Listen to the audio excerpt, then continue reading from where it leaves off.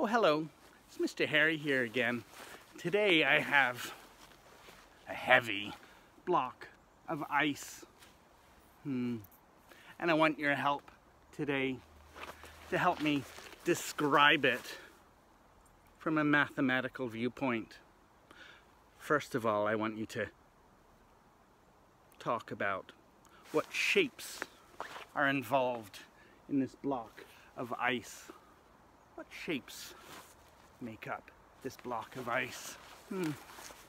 Also, if you were going to use one term to represent the three-dimensional shape of this block of ice, what term would that be? Hmm. I'd also like you to figure out for this block of ice how many faces or flat parts are involved with this block of ice. Also, how many edges are there? How many vertices or pointy bits hmm. does this block of ice have?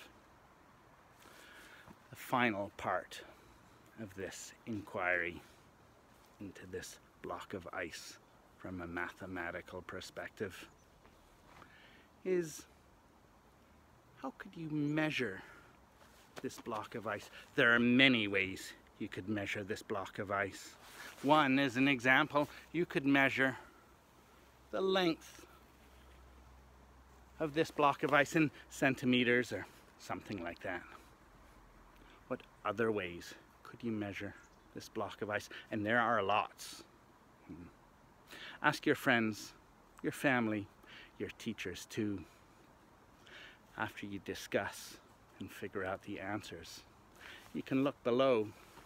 There's some ideas, some clues, some links to help you mm, see what you can do. That would be lovely. We'll see you soon.